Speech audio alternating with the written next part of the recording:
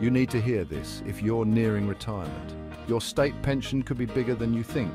Your state pension is your financial lifeline in retirement. To get the full amount of £221 20 a week, you need 35 full years of national insurance contributions. But did you know you only need 10 years to get something?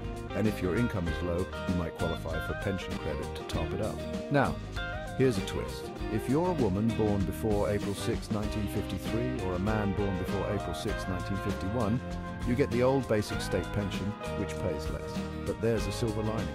You can boost your pension based on your spouse's national insurance record, especially if they're deceased or have reached pension age. So check your national insurance record today. Every year counts towards a better retirement. Maximize your state pension and enjoy your golden years to the fullest.